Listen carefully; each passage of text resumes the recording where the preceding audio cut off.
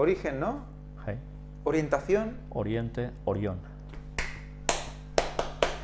¿Os dais cuenta cuando las cosas se releen al cabo de un tiempo? Cuando uno va sabiendo más cosas, ¿qué significación llegan a coger tan tremenda? Tanta verdad. Las potestades del cielo son el sol, la luna y las estrellas. Gobiernan en los cielos.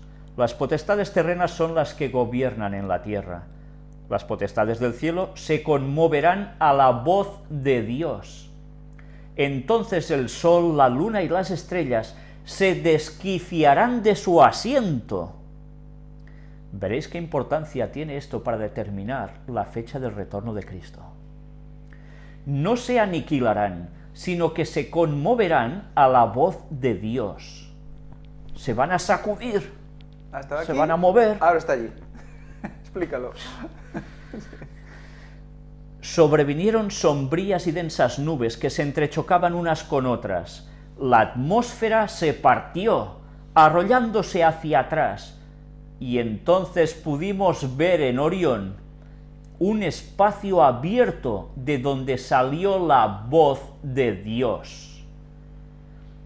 Por aquel espacio abierto descenderá la santa ciudad de Dios, esa puerta dimensional viniendo desde Orión, la voz y la santa ciudad. La espada del Espíritu es la palabra de Dios, has dicho. Ahora vamos a hablar de eso. Vi que ahora se están conmoviendo las potestades de la tierra y que los acontecimientos ocurren en orden. ¿En orden de qué? Profecía, quizás. Y aún hay gente que dice, bueno, ¿qué sentido tiene estudiar la profecía final y que si Daniel 11 no se puede aplicar así? Bueno, hay un orden y ese orden está escrito y Dios lo dirige. Y es la profecía. Guerras, rumores de guerra, espada, hambre y pestilencia conmueven primero las potestades de la tierra, tal como anunció Jesús, y después la voz de Dios sacudirá el sol, la luna, las estrellas y también la tierra. ¿Y no es esa voz la que nos dirá el día y la hora? De eso lo mostraremos precisamente en el día de la fecha del retorno de Jesús. Vi que la conmoción de las potencias europeas no es, como enseñan algunos, la conmoción de las potestades del cielo, sino la de las airadas naciones. Interesante esta conclusión también. ¿eh? Europa, naciones airadas. ¿Qué va a suceder al final también? Daniel 11 nos lo dice muy claro, ¿verdad? Pues ya habéis visto, la voz de, de Dios procede de Orión, la santa ciudad procede de Orión, a través de ese agujero que se abre en ese cielo que se, se enrolla hacia atrás, y todo es conmovido. Pues bien, la espada del Espíritu, que es la palabra de Dios, que también procede de Orión, y para gráfica, la que tenéis aquí, cómo no. Como voz viene la palabra, ¿no? El vo- la voz de Dios viene de Orión. La voz de Dios es la palabra de Dios Y es la espada. y es la espada. Es lo que hace que tú decidas salvación o, o lo que, o que vayas a perdición. La palabra de Dios es la Y clave. ya está. Y Punto. por eso distorsionar algo de la palabra de Dios puede llevarnos a la perdición. Quizás ahora sería bueno el, el texto de que es como una, es- la palabra de Dios como una espada de dos filos, de dos filos que discierne, ¿no? Los tuétanos, ¿no? ¿Cómo es eso? Que discierne de... Discierne las intenciones, los pensamientos del corazón, pero además, ¿qué hace? Entra hasta los tuétanos, Hasta los tuétanos, sí, sí, hasta el fondo, y ahí te cambia. retuerce totalmente. No puedes dejar nada a- escondido a la palabra de Dios. Pues bien, la presentación ha llegado hasta aquí y esto va a tener continuación.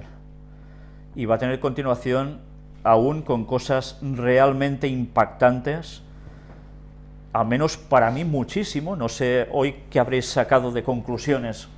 Yo la verdad es que estoy pues te realmente impresionado. y ya está, o sea, directamente. Que la intención no es, no es alucinar todos. o sea, No, no es no. que, a ver, que no tienes previsto tampoco esto. No, no. Pero te salen estas cosas que dices, bueno, por favor, el cinturón, la verdad en el cinturón. Y los tres ahí en el cinturón y ahí solo con el, solo con la estrella de la muerte de Cristo que está la arca debajo que la sangre cae en el arca que los mandamientos están allí que el cuarto mandamiento es el sábado que hemos hablado de los cuatro esquinas los cuatro cuernos cuatro todo Y el candelabro del medio, el central, que es el 4, lo mires por donde lo mires. suponiendo que sea lineal Siempre es el del medio. sí pero vamos Pues bien, ¿sabéis lo que significa que durante las mañanas a primera hora te llama Ángel y te dice, mira que he encontrado? y a veces yo por la noche, a las tantas también, y así nos pasamos muchas partes del día. Pues para nosotros, aunque, bueno, Ángel eh, bueno, lleva menos años, pero yo llevo 42 años como adventista. Y, ¿sabéis?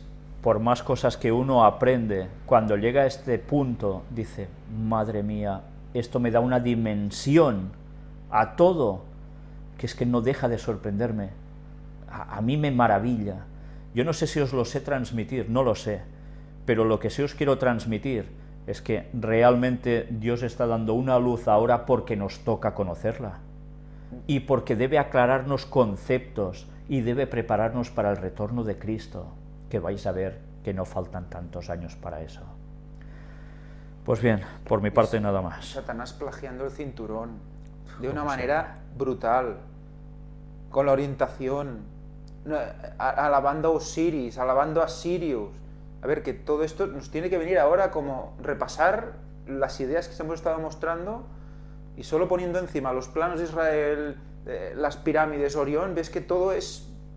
¿Y dónde cae? Lo que está, lo que está todo el rato están... Todo el rato está haciendo plagios Y tal- constantemente. Y tal de como vimos ya anteriormente, hasta la misma divinidad de tres, la Trinidad, de Padre, Hijo y Espíritu Santo en la Iglesia Católica, en verdad, para ellos, para los que saben de qué va el asunto, no para los pobres feligreses o los curas de abajo, sino para los que saben de verdad lo que ellos cuecen, no significa la misma divinidad de tres, de Padre, Hijo y Espíritu Santo como para nosotros, sino que todo está basado en lo mismo, en el paganismo más absoluto los plagios satánicos para variar. Y ya veis, incluso aplicando cosas que parecen totalmente la verdad.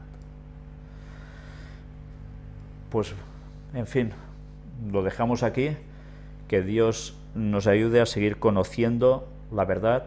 Doy las gracias también a las personas que colaboran con, por ejemplo, la noticia de arqueología que me han enviado, que me ha ido de perlas, eh, también con algún texto bíblico, como estos de los tres evangelios, todas las personas que nos estáis aportando la luz que Dios os está dando a vosotros, que a veces quizás eh, uno puede apreciar en más o menos cuantía cuando la recibe, pero que después cuando lo encajas todo dices, madre mía, es una luz de aquí, una luz de allí, que toda junta. Pero es que aquí es- las conferencias no las hace. Víctor.